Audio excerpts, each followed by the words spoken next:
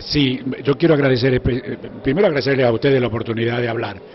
Y eh, esto quiero explicarle a, los salteños, las empresas que aportan, que son sponsors nuestros, entre una de las tantas ventajas, podríamos llegar a decir que tienen, es que pueden usar esta casa, que es realmente muy linda, ustedes ya, la, vieron, para hacer eh, eh, actos o eventos propios de, esta empresa. En este caso, en casa, celebra 10 años de permanencia acá en Salta, es uno de los sponsors más fuertes que tenemos nosotros, ellos nos han acompañado permanentemente y han apostado por la cultura.